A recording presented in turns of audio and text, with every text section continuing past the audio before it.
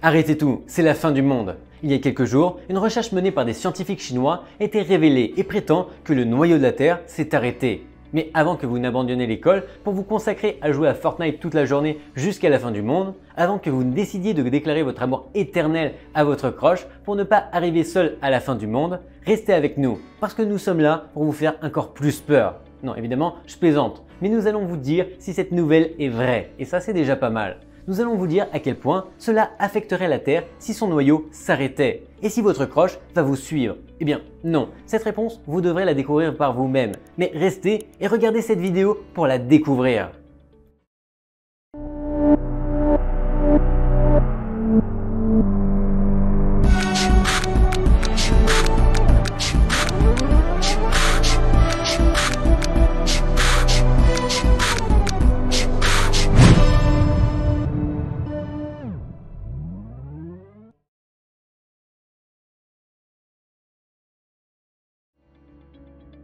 Commençons par découvrir ce que disent réellement les informations.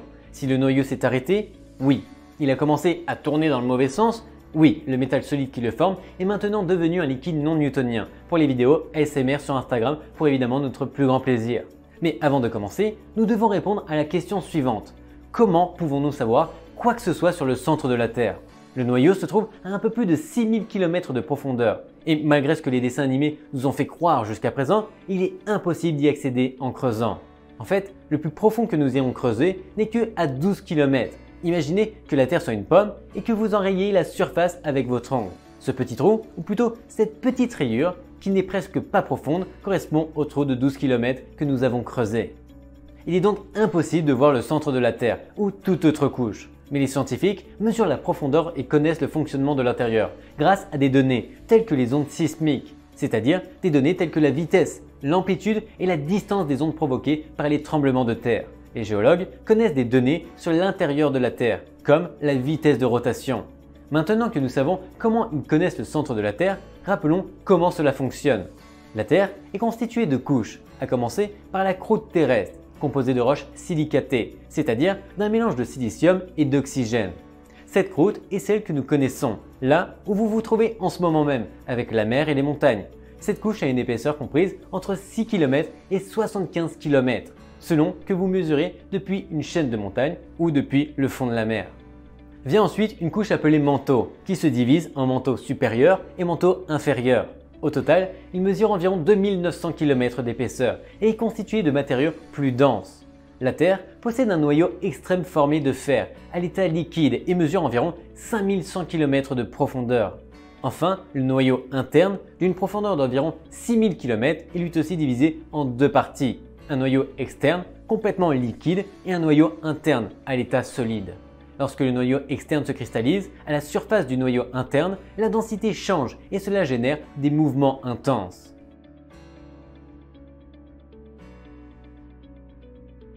Personne n'ignore que la Terre tourne sur son axe, ou en tout cas j'espère, et que c'est grâce à cette rotation que nous avons le jour et la nuit la vitesse à laquelle elle tourne est surprenante car elle le fait à 1675 km par heure. Bien sûr, vous ne le sentez pas car c'est une vitesse constante. Vous le savez sûrement déjà et si ce n'est pas le cas, nous vous en parlerons dans une autre vidéo. Mais pourquoi? La vraie question est tourne-t-il sur son axe? Ce mouvement a plusieurs causes. L'une d'entre elles est liée à la force de gravité, à la kinergie et à la conservation du mouvement angulaire.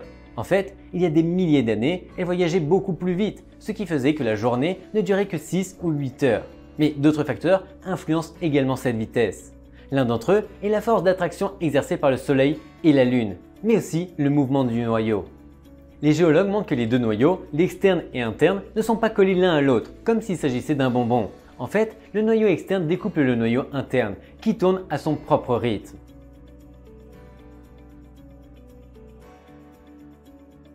En 1996, une étude a révélé que le noyau interne tournait plus vite que la surface de la planète.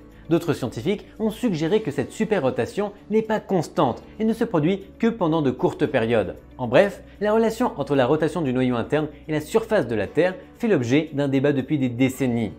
L'étude utilisée aujourd'hui par certains sensationnalistes pour effrayer des personnes crédules a été réalisée par des chercheurs de l'Université de Pékin qui ont analysé des ondes sismiques presque identiques au cours des 60 dernières années et ont constaté qu'avant 2009, le noyau de la planète semblait tourner légèrement plus vite que le manteau et la surface.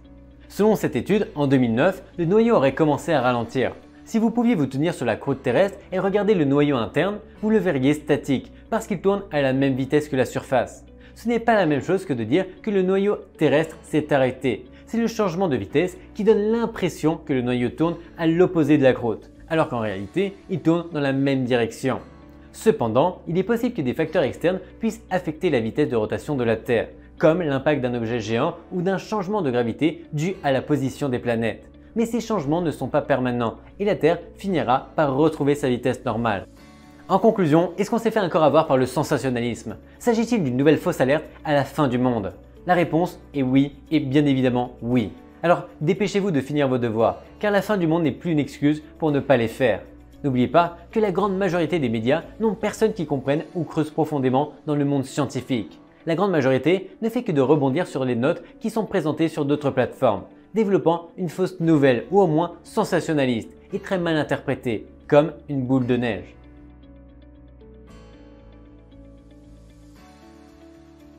Mais attendez une minute, il manque quelque chose. Dans quelle mesure ce changement de vitesse affecte-t-il la longueur du jour et le champ magnétique? Parce qu'il y a aussi beaucoup de choses apocalyptiques qui sont dites à ce sujet. Cette étude montre également qu'en 2001 et 2003, l'écart de rotation était plus élevé que la normale, ce qui suggère qu'il y a d'autres facteurs très probablement à cause de l'interaction entre le manteau interne et le noyau. N'oubliez pas qu'aucune sphère n'est parfaite, donc les petites imperfections et protubérances font changer la vitesse ce qui fait que le manteau ou la surface tourne à une autre vitesse, ce qui rend le jour un peu plus court, mais non, ce changement n'est pas à blâmer pour votre jour à attendre moins, parce que le changement est juste quelques millisecondes.